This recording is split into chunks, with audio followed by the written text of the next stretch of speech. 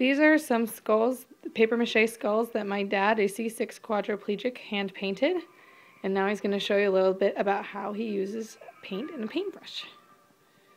Hi.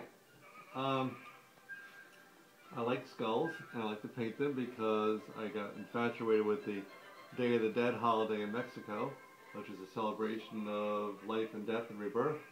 And so these are some of the ones I've done. And basically what I use is I have a cuff, it's elastic, but they have strap-on types as well. And you put them on your hand, like so. Okay, then you take a brush. I'm going to put a heart right on that guy there. Different brushes are used for different things. Better to use a small one and start small.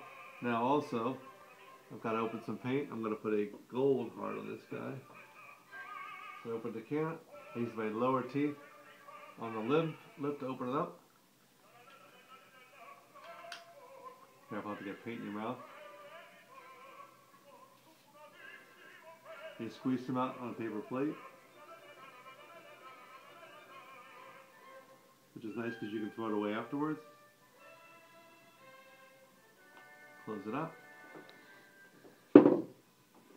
Okay, I like these skulls also. You can paint anything, but I like these skulls because they have holes I can stick my thumbs in. You can get them at any craft shop.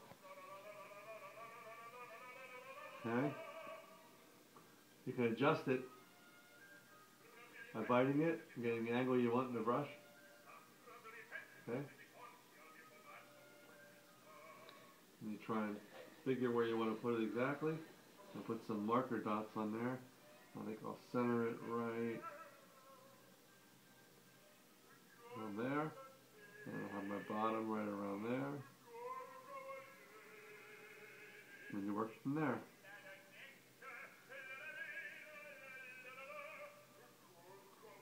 It's very important for me, I'm holding it on my diaphragm, not to breathe when I'm painting because otherwise it'll move the skull.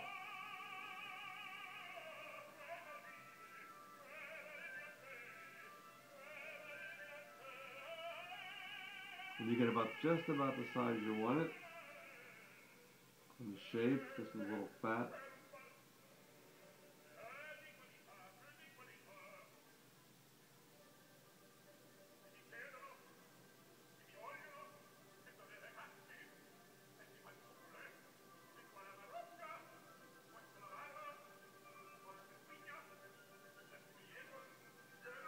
And you slowly, slowly work it until you get the shape you want. The skull's not not very smooth here, so I have a little bit of trouble, but.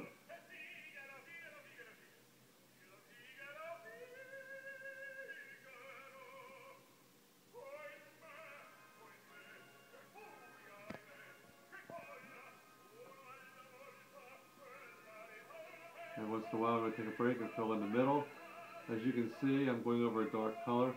So I'll probably need a second coat. That looks really rough right now, but when I'm done, it'll look something like that. And that's it.